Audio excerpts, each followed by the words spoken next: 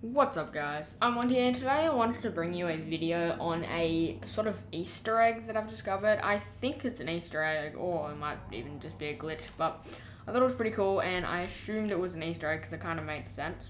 But I was just walking down here and I noticed this trail of like smoke coming out and I was like, oh what the hell is that?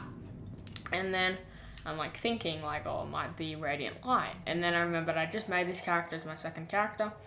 Um, and so I haven't done the, the Nightfall, so it's not Radiant Light. It's not like that glitching out.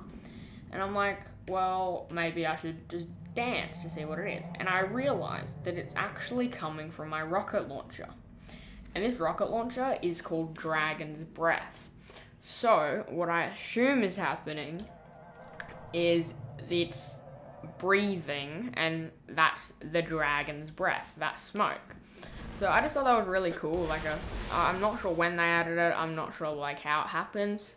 Like, I'll come out into here. Will it still be happening? Yep, still happening. So I literally just discovered it then. I thought I should make a video on it. I thought it was pretty cool. So yeah, um, I just think it's really cool how they make it. Like, how it's like dragon's breath.